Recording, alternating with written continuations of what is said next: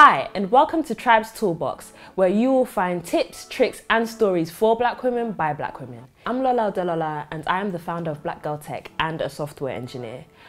In today's episode, we're going to cover coding and look at things like mentoring, boot camps, and the different kinds of developer you can be.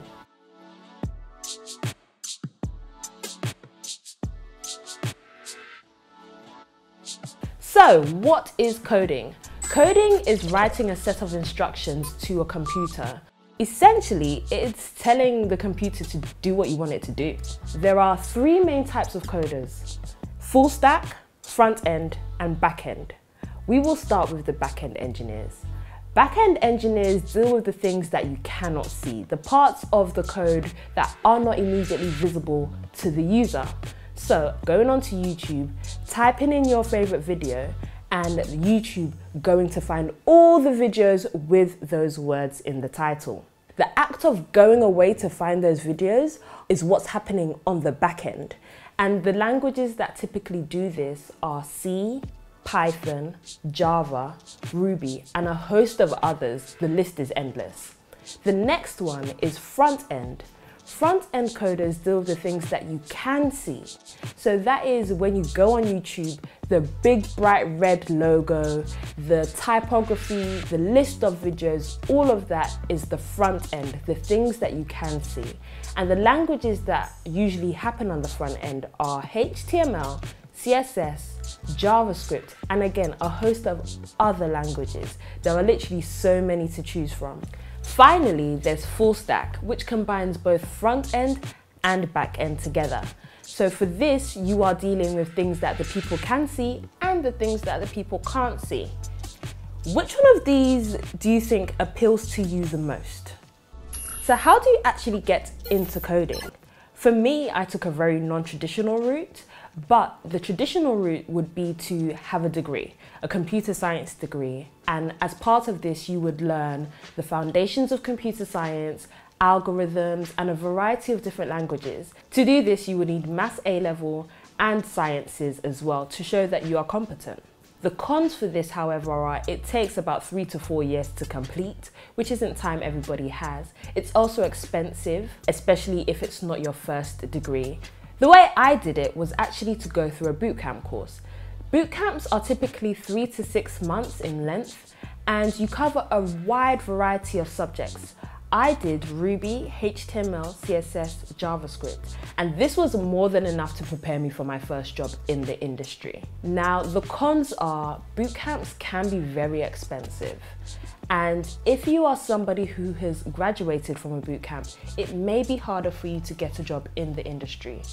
However, things are changing, so don't worry about that too much. Another way to get into the industry is through work experience. Now, this is great because it means you have real world experience of what it's like to be a coder or engineer. Work experience is usually not as intensive as boot camps. They're usually free and you might get paid. However, there are some cons to this. These include the fact that you do not get certification at the end. There is no official curriculum, so essentially you are learning what you need for the specific job that you're in, which may not be enough to transfer or get jobs elsewhere.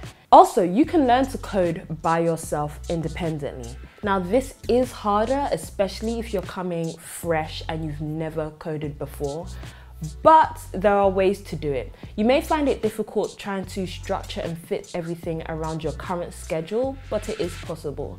It's also the cheapest way to go. You may incur costs for things like online tutorials, maybe one-off classes and materials, but it's nowhere near as expensive as doing a degree or doing a boot camp. There are also a number of free workshops you can go to in your city I run a workshop in London called the Black Girl Tech Code and Chill Workshop, and you're happy to come down anytime you feel like it.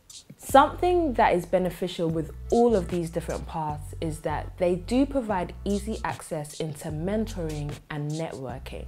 Now, they do it in slightly different ways, but essentially, regardless of if you do a bootcamp, work experience, degree, or even if you learn by yourself, there are networks available to you. And from these networks, you can find mentors who are willing to help you. These can be in person networks such as Black Girl Tech, Or they can be online networks such as Stack Overflow, Twitter, and a host of other places too, which I will list in our resources at the end of the video. These networks are full of people who want to help. Coding is communal and everybody wants to help and wants people to grow.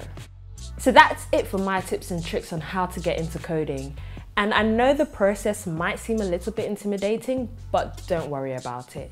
There are black women here in the industry, so you won't be alone.